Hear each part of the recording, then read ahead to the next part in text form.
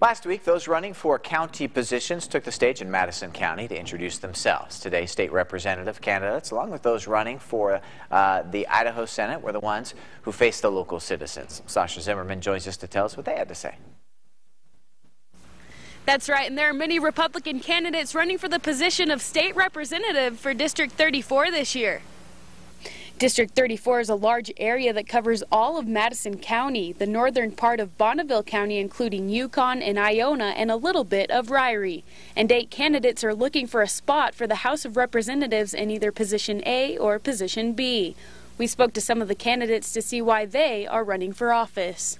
Um, I decided to run, to run for office because I wanted to um, give back a little to my country. I blessings living here in this free land that uh, that uh, I'm so grateful for the freedom that I enjoy, the freedom of religion, the freedom um, to work and do what I want to do.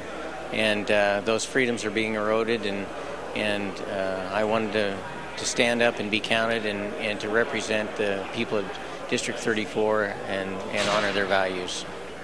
Well, firstly, because Max Shirley called me when he announced his retirement. He says, You're the person I think would be best suited to fill this office, and I want you to run. Then several other people within the community, whom I respect very much, also contacted me and says, you're the one we think would be best suited to fill this office, so we're asking you to run. After consideration with my wife, we decided, okay, we're going to do it. Well, this isn't my first rodeo. I've run for the past four election cycles. Um, I really feel strongly that uh, there needs to be some changes made and that we need to move in a direction of liberty, which basically is a philosophy that says well, I don't necessarily believe in top-down government, and I believe that we should uh, um, give more autonomy to our local uh, municipalities, our county commissioners, and our, our city council, and let them make the laws that, that govern the people here.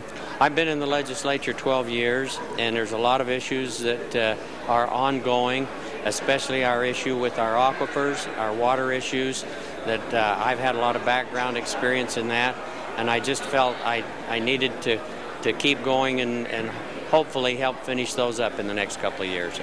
The elections will be held on Tuesday, May 15th. In Madison County, Sasha Zimmerman. Back to you in the studio.